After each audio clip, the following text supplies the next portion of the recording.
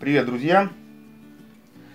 Сниму коротенький ролик, поделюсь с вами своим мнением о пчеловодном костюме, который называется Пчеландия X8, по-моему, отечественного производителя. Приобрел недавно я этот костюм. До этого пользовался вот такой вот курткой. Куртка обычная, да, такая вот маска. Ну, кто видел мои ролики, видит, что я в ней работал.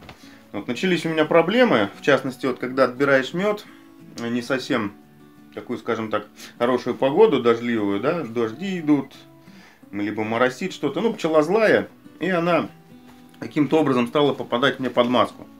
Поначалу я, если честно, подумал, может быть, просто резинка вот эта ослабла.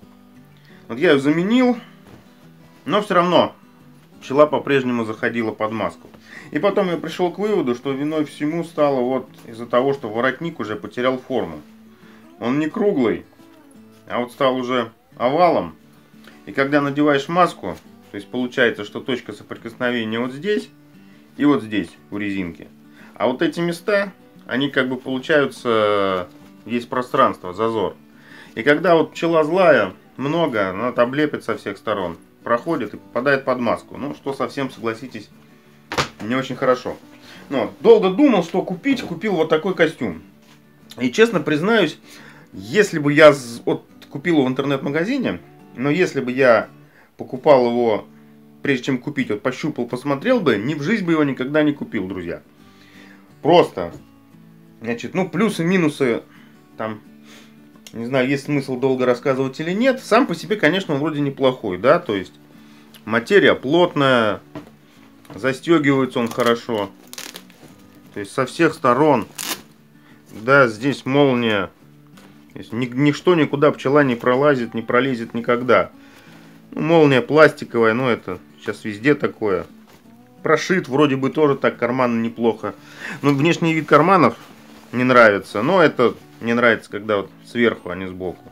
Но это мое личное мнение, я говорю, тут это считать недостатком не стоит.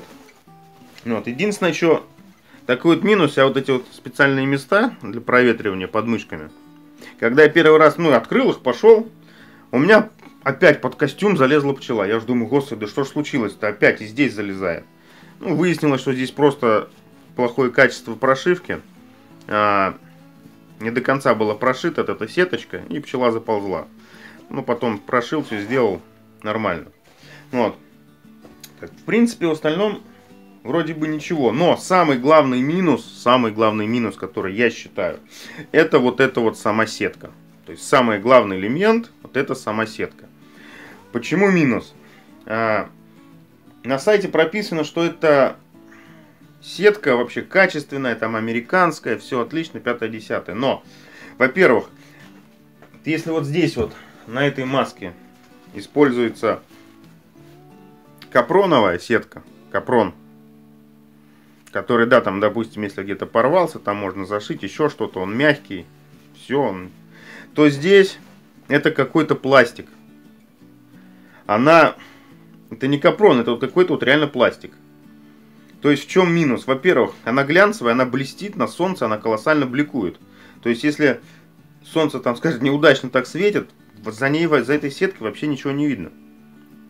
Разглядеть там какой-то засев, еще что-то, это вообще нереально. То есть бликует безумно. Во-вторых, у меня где-то на какой-то из одежды, по-моему, была что-то подобное. Вот эта вот э, сетка пластиковая, она не любит вот перегибов.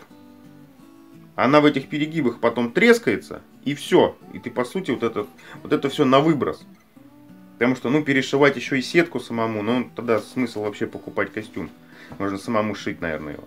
То есть, отвратно. Плюс еще ко всему момент, вот если так вот посмотреть боком, она внутрь прогибается все время. То есть при каких-то движениях и, и достает до носа. То есть она очень ну, близко к телу. И если там маска бегает, да, то есть может все равно пчела там, грубо говоря, в нос долбануть. То есть, вот честно скажу, я, конечно, это отечественный производитель, его, казалось бы, надо поддерживать, но, ребята, ну, это просто ужас. Вот это просто огромный минус. Я говорю, знал бы я, вот как она вот реально вот выглядит, пощупал бы. Ну, ни в жизнь бы не купил. Стоит он, да, дешевле всех остальных, но лучше переплатить там на 800 рублей и купить подобные куртки. Ну, я говорю, не знаю.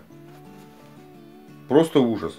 Вот если производитель там, не знаю, как-то услышит или еще что-то, ну, ребята, замените вы сетку, и в принципе, в принципе, ну, будет хороший костюм.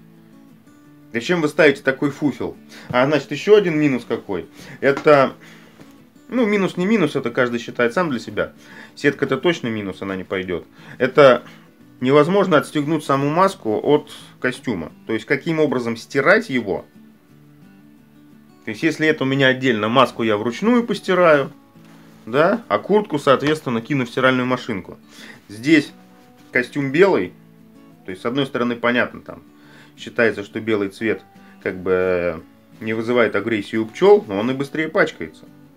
Как его стирать? Маску не отстегнуть, в стиралку его не кинуть. Стирать все вручную, ну, ребята, это же нафиг это надо. Чтобы его снять, тут придется либо... Здесь же стопора же стоят на молнии. То есть она ни в какую ее не... То есть она... То есть здесь и здесь стопор, она не уходит. То есть либо как-то разбивать, чтобы, ну, не знаю, в общем.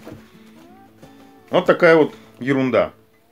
Ну, ну, даже, в принципе, это, ладно, если маску не снимать, там, постираем вручную. Но сетка, это просто ужас. Поэтому, ребята, если вдруг задумаетесь купить вот такой костюм, тысячу раз подумайте, тысячу раз подумайте.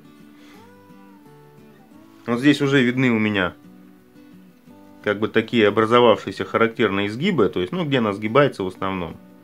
И я боюсь, что это, это долго не прослужит. Вот такие дела. Не советую брать вот этот костюм, не советую. Берите все, что угодно. Может быть, есть что-то еще дешевле, я не знаю. Но вот это конкретно, это вот так вот, это полная ерунда. Ну вот и все, друзья. Пока-пока.